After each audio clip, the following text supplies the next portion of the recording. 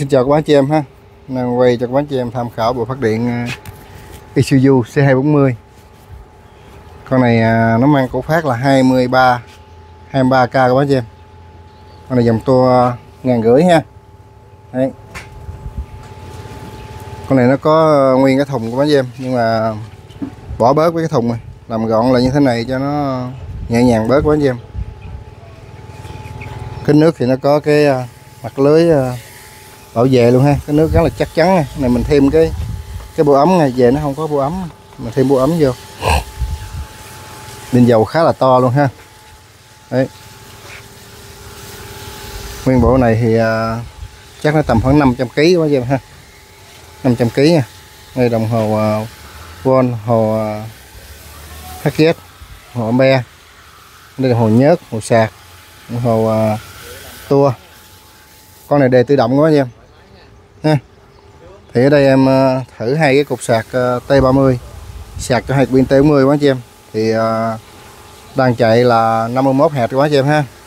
Hai cái bộ này, hai bộ sạc này nó 70 ampe thì nó sẽ mất một hạt ha. Mất một hạt nó còn 50 hạt ha. Đây mình có làm cái cầu dao cầu dao bình nè. Đó. Này đề tự động quá chị em. Mình bật qua đề là nó tầm khoảng 20 giây 15 giây nó sẽ đề ha. Đấy.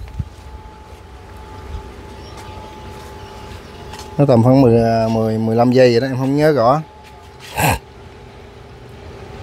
Rất là hay quá vậy ha. Đây con này chạy rất là êm chạy nhẹ lắm nhưng mà mỗi tội cái hơi nặng quá em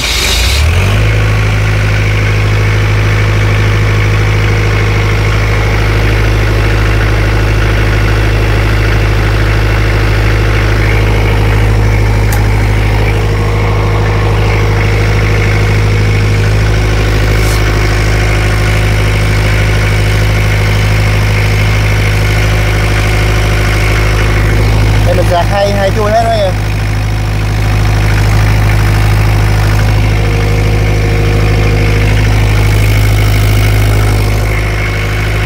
pin vô ha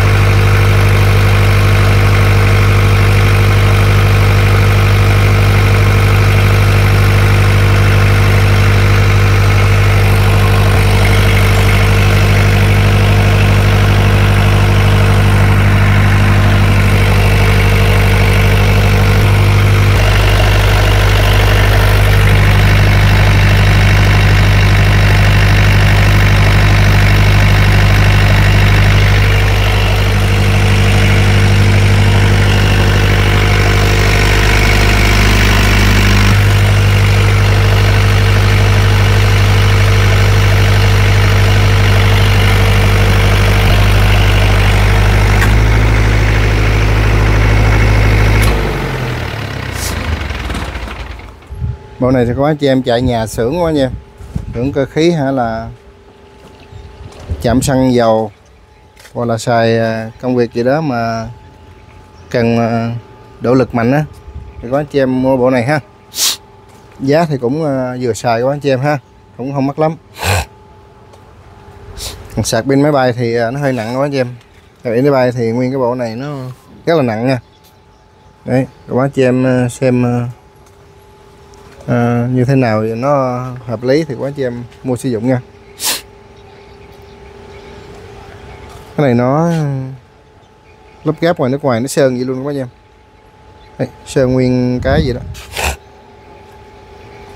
Máy thì tình trạng bao nguyên zin quá chị em ha bao nguyên zin. Không có mở tháo không chị em. Em cảm ơn rất nhiều. Xin chào. Hẹn gặp lại các anh chị em ờ, video tiếp theo nhé